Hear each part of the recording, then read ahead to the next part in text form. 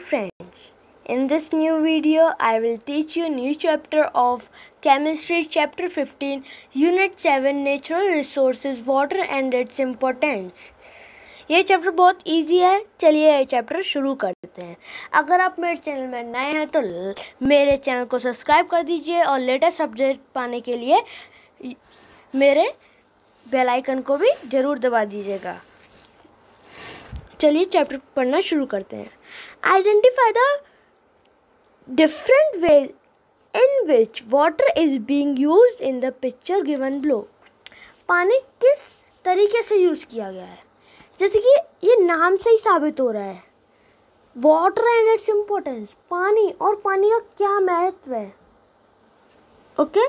जैसे कि हमने पढ़ लिया, और इसमें इस वाले चैप्टर में हम क्या पढ़ेंगे? Water available uses of water, different state of water cloud formation, water cycle, drought, flood conservation of conservation of water, okay? चलिए पढ़ते हैं।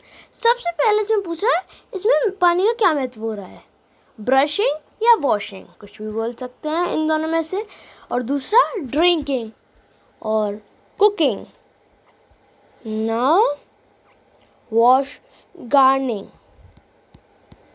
washing car okay अगर आप चाहें तो नीचे जो आंसर दिए गए हैं, आप उससे चेक भी कर सकते हैं। अब आप देख सकते हैं, ये चेक कर सकते हैं। चलिए, अगला पेज पढ़ते हैं। Water available for use water use के लिए अवेलेबल है। Water available for use about three fourth of earth surface is covered with water That is why the earth is also called the water planet. But do not know how much water is readily available for use. How much water is readily available for use. Most of the water, about 7, 97%, is in the sea and ocean are as salt water. इसमें बता रहा है जो three fourth अर्थ का जो surface है ना, वो पानी से कवर है। पर पीन, इसीलिए हम अर्थ को वाटर प्लेनेट कहते हैं। पर आप नहीं जानते, पीने वाला पानी कितना होता है? नाइन्टी सेवन परसेंट जो पानी होता है ना, वो सी और ओशन का सॉल्टी वाटर होता है। This water is too salty to to be use for drinking and irrigation ये प्लांट को पानी देने के लिए और पीने के लिए बहुत ख़राब होता है। Okay there's only a tiny fraction about 3% of the earth's water is available to use as fre fresh water. Out of this out of this 2.997 is locked up in the mountain or glaciers or is buried so deep. Under the under that it costs too much to extract इसका मतलब बता रहा है, सबसे पहले paragraph का मतलब बता रहा है कि कितना परसेंट है। जैसे कि मैंने आपको बताया ninety seven percent ocean water है और टू परसेंट है पीने वाला पानी। पर two point nine nine seven जो है ना, वो माउंटेन या ग्लेशियर्स में बंधा हुआ है, बहुत अंदर है।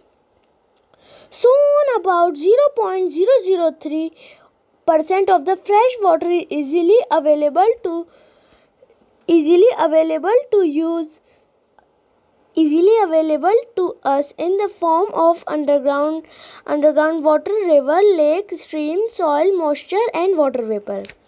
और जो हमारा zero point zero zero three water जो बचता है पीने के लिए यूज़ कर सकते हैं, वो हम यूज़ कर सकते हैं। वो अवेलेबल है ग्राउंड वाटर पानी के अंदर जो वाटर होता है लेक में रिवर में स्ट्रीम में सॉइल में मॉइस्चर में वाटर वेपर में। यूज़ ऑफ़ वाटर वाटर का यूज़ क्या है? Beside being essential for life water is use for many many other purpose in India about seventy percent of total water available is use for agriculture twenty two twenty two 20 to 22 by industry and only 8 is used for personal need. Let us learn about the various uses of water.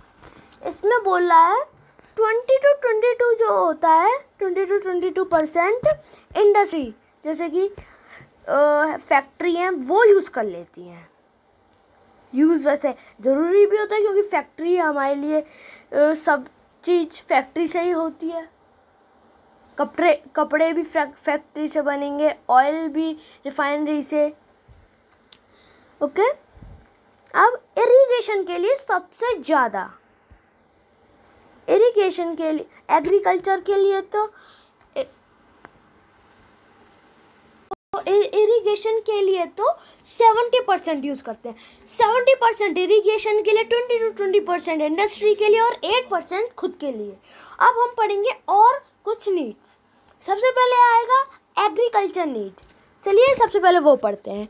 Our country depend on a lot on lot on agriculture farmer rely on water and sustain sustain their agriculture crop such as wheat and paddy many many a time rainfall is not sufficient to water this crop and farmer have to use artificial watering system referred to as irrigation okay इसका मतलब जो हमारी देश है ना, वो agriculture के ऊपर निर्भर है मतलब फार्मर के ऊपर।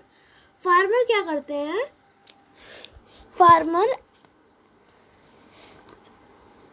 फार्मर जो होते हैं, भरोसा करते हैं।